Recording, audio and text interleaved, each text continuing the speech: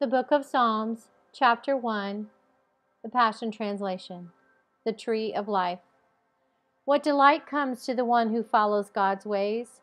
He won't walk in step with the wicked, nor share the sinner's way, nor be found sitting in the scorner's seat. His pleasure and passion is remaining true to the word of I am, meditating day and night in the true revelation of light. He will be standing firm like a flourishing tree planted by God's design, deeply rooted by the brooks of bliss, bearing fruit in every season of his life.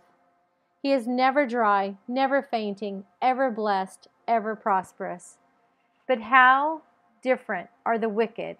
All they are is dust in the wind, driven away to destruction.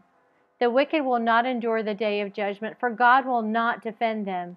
Nothing they do will succeed or endure for long, for they have no part with those who walk in truth. But how different it is for the righteous! The Lord embraces their paths as they move forward, while the way of the wicked leads only to doom.